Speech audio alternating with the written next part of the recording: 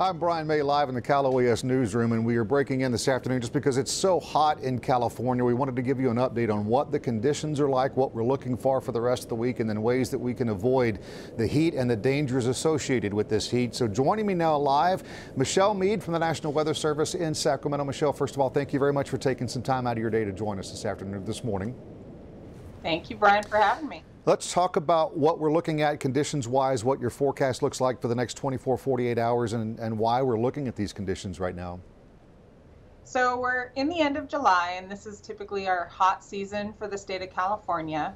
Um, but as we've all been aware, the southeast corner of the state, down near Phoenix, and even as far west as Los Angeles, has experienced record breaking not only high temperatures, but overnight low temperatures as well. And that's because of a ridge of high pressure, which is basically stagnant air that uh, sits over us and um, basically pushes down along the communities and makes for excessive heat. That ridge is actually building northward over us, and we're seeing our not only our daytime highs creeping up, but also our overnight lows are also going to be very warm. And I don't think people realize just how much those overnight lows staying so high factor into what the overall temperature is like, right? Right. It's actually the overnight lows uh, when the body and livestock and communities, that's when everybody recuperates, even the ele- electric grid for your air conditioner. Um, when we aren't able to get into the low 70s or even upper 60s, everyone's air conditioner is working, the livestock's not able to recuperate, um, and it, it puts a strain on the next day's heat because your body hasn't had enough time to cool down, so to speak and it's hot across the state, but, but the really high numbers that you're looking at are predominantly in the south, right? That's where they have been, and like I mentioned, they're creeping north. Um, as we all know, in the Central Valley, we do get the benefits of the Delta uh, influence. Well, even that is kind of creeping a little less inward and inland as it has in the past. So you'll probably notice if you're in the northern and central Sacramento Valley, we actually upgraded to an extreme or excessive heat warning because of those overnight low temperatures. And we expanded the heat advisory as far south as the Sacramento area and included the uh, foothills of the Sierra as well because of those warm overnight lows. I see the colors on that map that we had up. I'll let you kind of explain what that means because right in the center of the state is purple and kind of surrounding it the orange. Kind of tell me what that means. Right, correct. So the excessive heat warning um, is in the purple area, and the heat advisory is in the orange. Um, basically, the difference here is the minimum temperatures. The purple area, we're going to see high temperatures anywhere from 108 to 112 degrees, with minimum temperatures um, mainly in the 70s to low 80s. Where you see the orange areas, we're going to see high temperatures more in the 103 to 108 area, but the overnight lows will dip into the upper I'm sorry, the mid 60s to low 70s. So we are going to see, like I said, a little more influence from the Delta um, breeze. That's why the difference. And again, I know, listen, it's late July, it's, it's summer, we're always kind of hot this time of year, but I, I know you have another graphic and it, the title of that one is Very Dangerous Heat. The type of heat that we're seeing for this week just doesn't happen that often, right? Correct. Uh, we have definitely uh, been watching the temperatures, and you know, a lot of folks are like, "Well, it's the end of July. It is hot this time of year," which it is.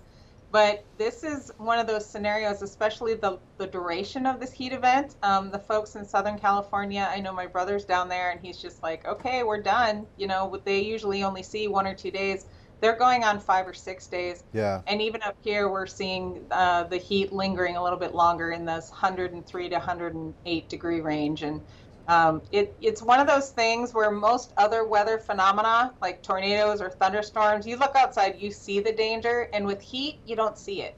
Right. 95 degrees looks exactly like it does 105 from your window. So it's hard for folks to judge the difference. That's why we issue these alerts to let people know this is dangerous heat.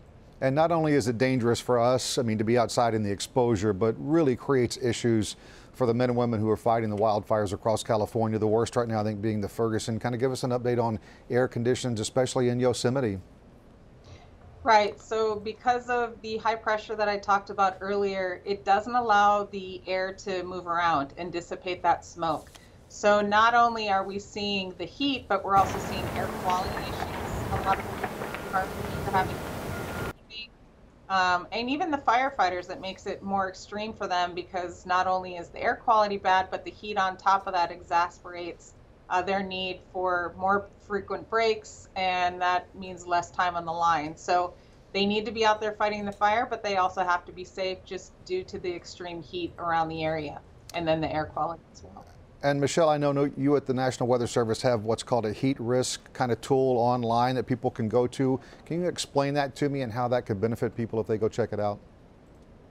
So the heat risk is a way for folks to check out how how abnormal is this heat. And when we're getting in the oranges, reds, and especially the magenta, uh, that basically is saying, yes, this is hot for this time of year, but these are exceptional temperatures and the duration. So basically the difference between the red and the magenta is the magenta means we're going to see the overnight lows and the um, daytime highs over a two to three day period without that relief at night. So this is where we're really cautioning everybody, the entire population, um, to take precautions, whether that be extra air conditioning, uh, water, breaks, shade, all of the above, and definitely plan accordingly. If you don't have to go outside, don't. You know, uh, definitely run those errands and whatnot in the early morning or in the late evening when the heat isn't ex- quite as extreme. But the purple, if you're in the red and the purple, uh, we definitely want to advise folks to take heat precautions, hydrate, uh, seek air conditioning. There's a lot of public venues out there. If you don't have it in your home, you can go to the public library. This is a great time to go see a movie. Um, and it's it's a way for you to get out of the heat and enjoy yourself and be in a nice shady place at the same time and uh, not expose yourself unnecessarily. I know you're always looking ahead at what's coming up. Give us the forecast. Does this heat break at all next week? Are we through it through the weekend? What's it going to look like? So interesting you should ask that. Uh, we are looking at a uh, cool down for the weekend. Um, so instead of 112, we might be in a, you know 105. We might be closer to 100. So I don't like to use the word cool down. I'd rather say less right. hot uh, for the weekend. And then we are looking again at the the ridge. Unfortunately, doesn't look like it's going anywhere. So it we are looking for these temperatures, especially in Southern Cal and Arizona, yeah. to stick around. And then up here in the north, we're going to definitely be watching the influence of the Delta and seeing if we can cool off those nighttime lows at all. Michelle Mead with the National Weather Service, thank you so much. I know you guys are busy, but thanks for taking some time out and kind of explaining to us and warning us about what we're looking for this week. You're welcome. Everybody stay safe. Thank you, Michelle. Thanks for joining us. Again, I'm Brian May live in the Cal OES newsroom. Thank you for watching.